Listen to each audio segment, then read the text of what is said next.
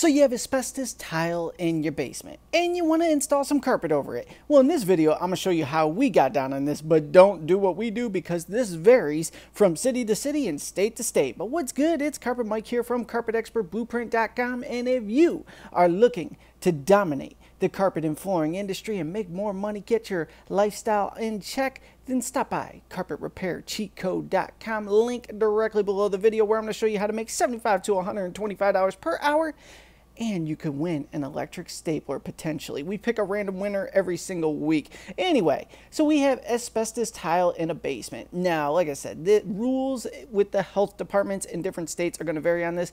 We're going to go ahead and install some carpet right over top of pad on this. So we're pounding tack strip right through the asbestos tile. Some people would frown on this, but if it's okay for you to do this in your area, then go ahead and use 11 16 concrete nails. This is in a basement. There's a concrete subfloor and you have the tile. You need to get through the tile to go ahead and grab into that concrete. So you need a slightly longer nail to pierce that tile and penetrate the concrete so that the tack strip will hold in place. Now, if you're in an area where this is a big frowned upon type thing and you want to be extra careful with the asbestos tile, you don't want to disturb it and kick that up throughout your house, consider doing an indoor outdoor carpet as a glue down installation. And if you ever have to pull that out, just run for the hills because you're going to go ahead and pull all the tile with it. But back to this video here.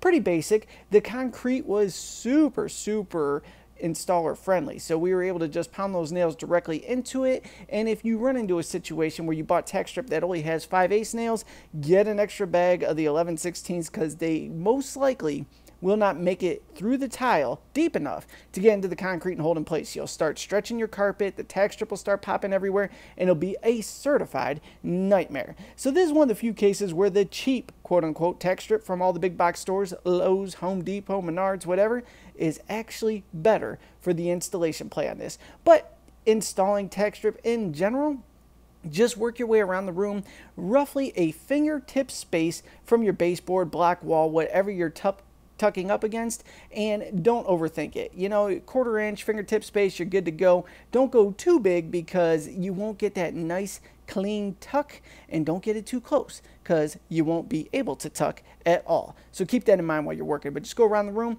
No tin snips needed. You just smack it with a hammer where you want to break it or quote unquote cut it at and nail those down in. You run short of nails, just pull it out smack that nail down, and then take that nail and utilize it at the other side where you were missing a nail. Look at this, man. We just MacGyver everything in this game. This is the most basic industry out there. A couple simple tools, and oh my goodness, you could just go ahead and make mad bank. Little bit of sharpening of your skills, and other than that, you're good to go.